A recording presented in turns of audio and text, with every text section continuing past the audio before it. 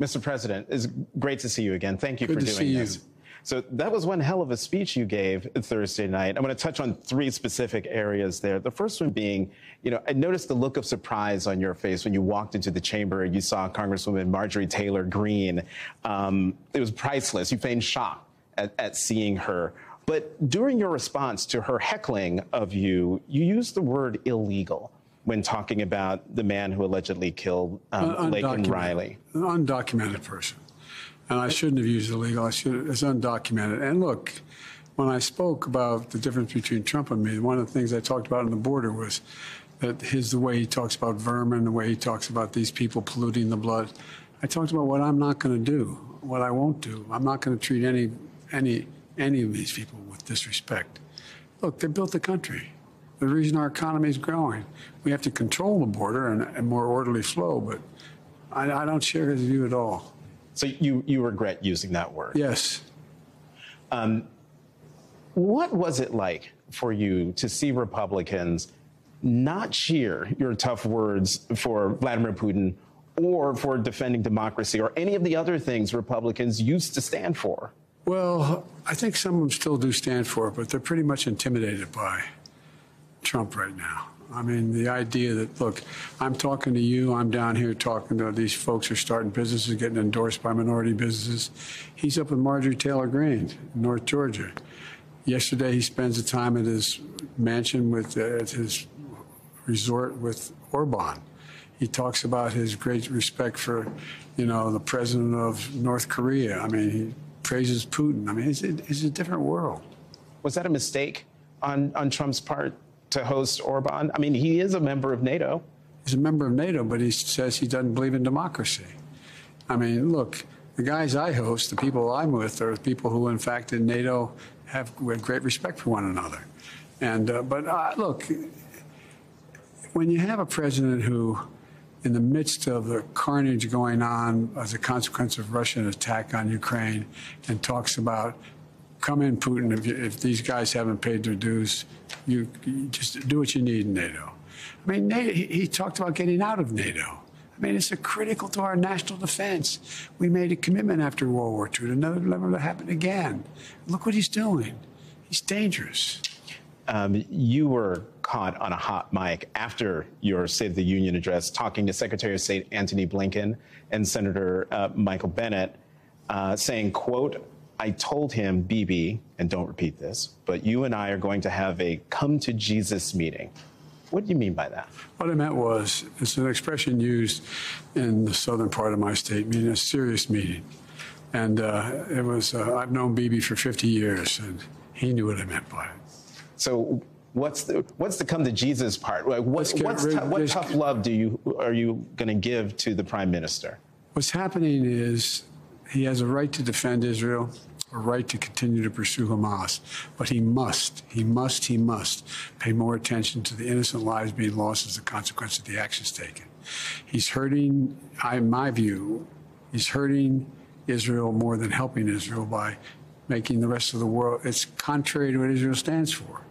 And I think it's a big mistake. So I want to see a ceasefire. And I'm starting with a major, major exchange of prisoners for a six week period. We're going into Ramadan. It should be nothing happening. And we should build off of that ceasefire. And look, I've spoken with the majority of the Arab leaders from Saudi Arabia to Egypt to Jordan. They're all prepared to fully recognize Israel and begin to rebuild the region. And uh, that's, that's the focus. What comes after Gaza? What's next? It's a tough decision, but there's a lot that can be done. on the ceasefire, will one will I mean it is it is Saturday. Um, the holy month of Ramadan starts on Monday. Is it possible that a ceasefire deal could be reached in time for the for Ramadan to start? I'm a CIA director in that region right this minute, still talking about it. I think it's uh, it's always possible. I, I never give up on that. What is your red line with Prime Minister Netanyahu? Do you have a, of a red line? For instance, would invasion of Rafah, which you have urged him not to do, would that be a red line? It is a red line, but I'm never going to leave Israel. the defense of Israel is still critical. So there's no red line. I'm going to cut off all weapons so they don't have the Iron Dome to protect them. They don't have, but there's red lines that if he crosses, and you cannot have 30,000 more Palestinians dead as a consequence of going after. There's other ways to deal, to get to, to deal with the with with the trauma caused by Hamas. It's like I well look the first time I went over, I sat with them and I sat with the work cabinet. I said, look, don't make the mistake America made. America made a mistake. We went after bin Laden until we got him, but we shouldn't have gone into Ukraine. I mean, we, should, we shouldn't have gone into um, the whole thing in Iraq and Afghanistan. It wasn't necessary. Wasn't necessary. It just caused more problems raised, than it's than it cured. Who who actually wants a deal? Do you think Hamas actually wants a ceasefire? Well, I think uh, Hamas would like a total ceasefire across the board because they, then they would see they have a better chance to survive and maybe rebuild. But that's not what I think the vast majority of people think. You have to look. After what happened in World War II and the carpet bombing that took place what happened was we ended up in a situation where we changed the rules of the game, our constitutional legitimate rules of war, and they should be abided by. Some have suggested you should go back to Israel uh, and address the Knesset, the Israeli, Israeli parliament. Is that something you would do? Yes. Would that have to be at the invitation of the prime minister, or could that be at the invitation of the president? I'd rather not discuss it more. Does that mean that that has been that has been discussed? The possibility of going back to Israel and Doesn't addressing the Knesset. Okay. Let's talk about the temporary pier that you announced during your State of the, the Union address to get supplies into into Gaza. It's going to take 60 days to get that um, constructed. What more are you doing in the absence of cooperation from Netanyahu and a bill from Congress to get supplies into Gaza, more humanitarian aid into Gaza? Everything we can. Uh, we're pressing Israel to open up access in the north from Israel. We're, we're also doing airdrops. I know several people were killed with the airdrop. There's a way to avoid that in the future.